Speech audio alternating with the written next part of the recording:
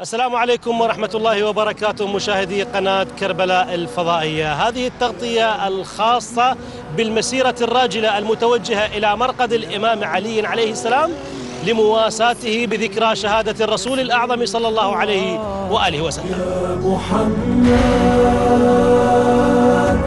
يا محمد. يا محمد بيك متصل المشاعر. يا محمد يا محمد. نزل جبرائيل ولهفاتنا لك جابك. مشاهدينا الكرام لا زلنا وإياكم في هذه التغطية الخاصة بالمسيرة الراجلة. المتوجهة إلى النجف الأشرف في ذكرى رسول الله صلى الله عليه وآله وسلم ويوم شهادته الحزين. السلام عليكم. أعظم الله أجورنا وأجوركم بهذا اليوم. بهذا اليوم مصاب الجلل. اللهم صل على محمد وآل محمد. ومن يعظم شعار الله فإنها من تقوى القلوب. اللهم صل على نحن سارون على نهج أمير المؤمنين وس- وسيد مولاي رسول الله آه، في طريق الجنة في طريق الإسلام. وهذا الزوار الحشود الوفيرة القادمة من من من المحافظة الجنوبية من جميع المحافظات من البصرة إلى محافظة النجف قدوما زحفا. والحمد لله شكرا. المواكب كلها موجودة منفتحة ال- والناس قائمة بال بال بالأعمال الصالحة. وهالمك كلها جاي تخدم زوار من من فطور وغداء وعشاء وخدمة. وال- والحمد لله ومبيت وعندنا أنا جاي الاحظ أثناء المسير آه، بيوت مفتوحة يعني مواطنين لهم الاجر والثواب آه، يعني الناس تساعد تساعد الزوار تأخذهم تسبحهم تغديهم تعشيهم. إضافة لل- للخدمه الحسينيه سؤال الآن اليوم. إحنا اليوم آه، شلون نقتدي برسول الله؟ نستغل هاي الفرصة شهادته أنه نكون على طريق محمد وآل محمد. طبعا إحنا إحنا آه، اقتدانا بالرسول صلى الله عليه وسلم إحنا لازم نعمل بن- بنهجه نتبع سنته. اللهم صل على محمد وآل محمد. نوالي أمير المؤمنين قادمون الناس الرسول صلى الله عليه وسلم مدفون بالمدينة. اللهم صل على محمد. والناس قادمة إلى أمير المؤمنين. لتواسي است- است- استشهاد الرسول. اللهم صل على محمد وآل محمد. شكراً جزيلاً. شكرا جزيلا لكم.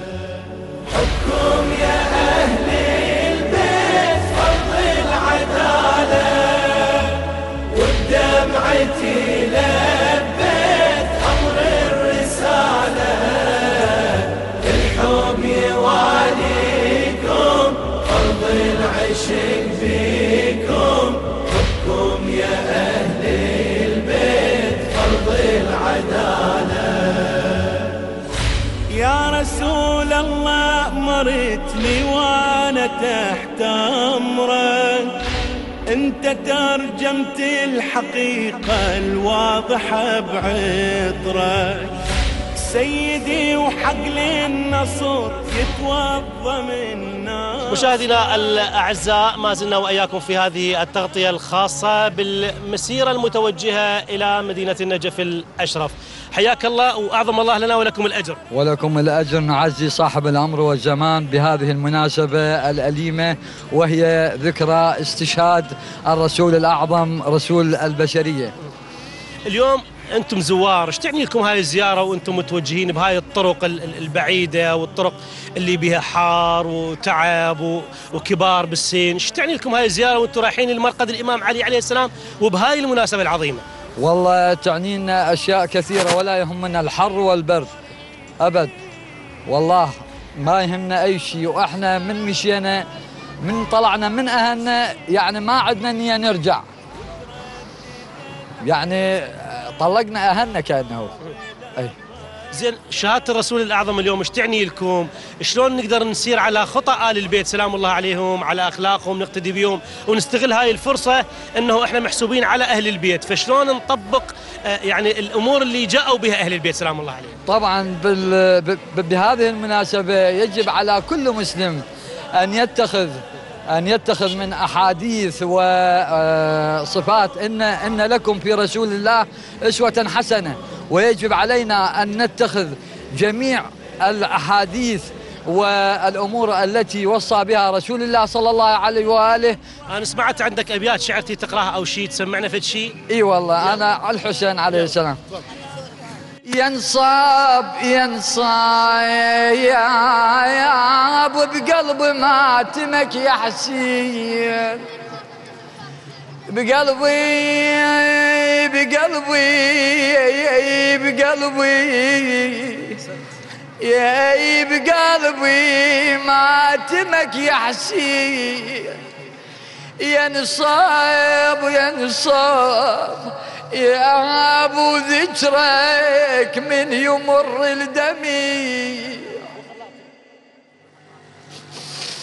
ينصاب ينصاب ينصاب أبو علي قلبي بدال قلبك رب ينصاب ينصاب يا يا أبو خدد. ما عندك خد أبا عبد الله. يا وخدد خدك. يا يا الوطي أحسنتم مأجور. حياك الله.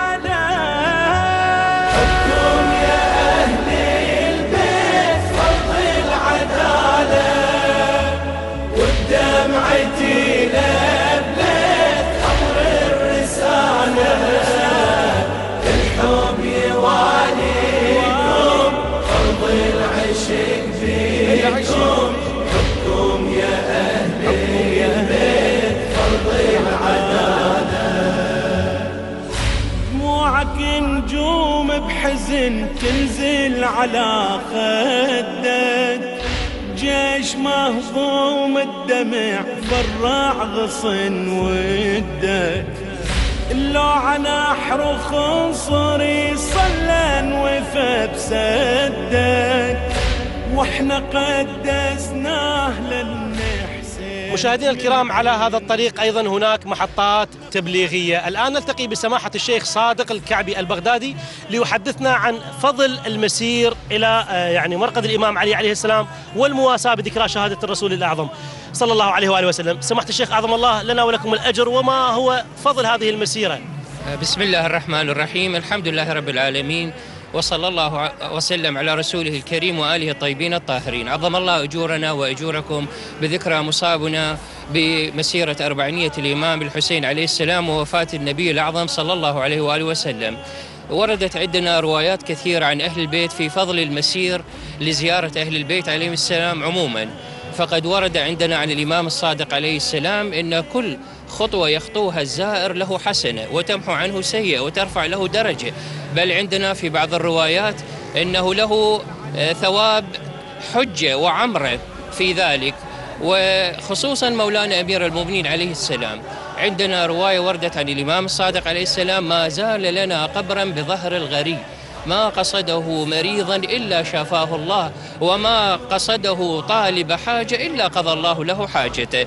فالمسيرة لزيارة أهل البيت عليهم السلام عموما هو موسم عطاء. موسم عبادة موسم تجديد ذكر لأهل البيت موسم تجديد العهد بزيارتهم عليهم السلام.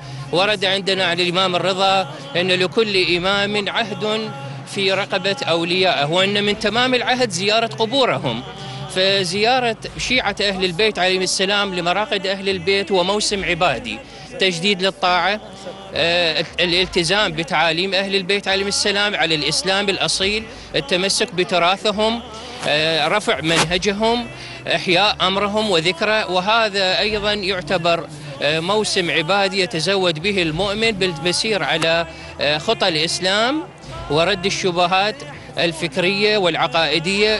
ولا زالت الحوزة العلمية بعطائها الفكري المثمر متصلة مع الشارع. وها هكذا ترى أنه طلبة الحوزة العلمية في هذا المشروع التبليغي آه، قد نزلت وأخذت على عاتقها الوقوع بالتماس مع الناس في الإجابة عن الأحكام الشرعية والأسئلة الفقهية رد الشبهات العقائدية الإيضاح للناس أن, إن الإسلام لا زال بخير يوفر كل فرص العطاء والنجاح في ذلك. نعم الله يبارك لكم إن شاء الله. وتقبل الله يسكن إن شاء الله. وتقبل أعمالكم. شكرا جزيلا. ناسي كل لحظة اذكرنك ولا ناسي أموت عليك تحت رجليك ولا جافي